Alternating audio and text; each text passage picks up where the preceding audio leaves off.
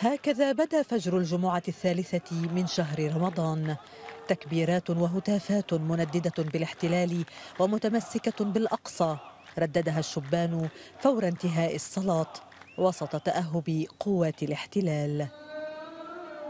يسعى الاحتلال إلى تكريس واقع التقسيم الزمني والمكاني للأقصى وتفريغه من الفلسطينيين بواسطة اقتحاماته المتكررة لكن الارتباط الفلسطيني بهذا المكان المقدس أوثق من أي قوة.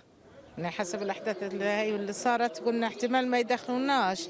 آه، بس الحمد لله رب العالمين أصرنا إن ندخل ودخلنا الحمد لله بإرادة الله.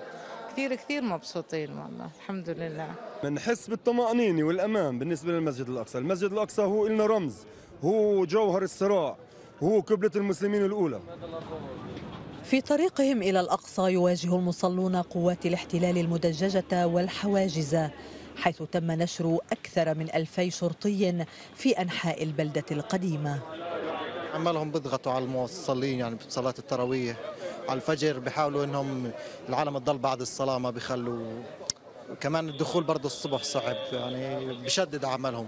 حاليا اليوم الجمعة طرق شوي صعبة وفي تذكيرات كتير. إذا ربنا بكتب لنا شهادة في البيت المقدس بكون هذا أكبر رضا. إذا إحنا يعني الخوف هذا شيء معدوم يعني. يعني القضية إنه الواحد في عنده طاعة وهذا شهر طاعات مش شهر يعني لا حرب ولا قتال.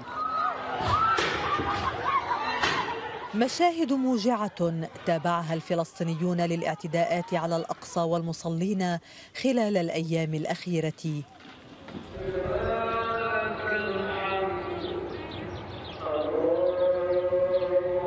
اليوم وبعد انتهاء صلاة الجمعة التي أداها نحو 130 ألف مصل اختصر الشباب الغاضب كلمته برفع علم فلسطين ورايات المقاومة من باحاته.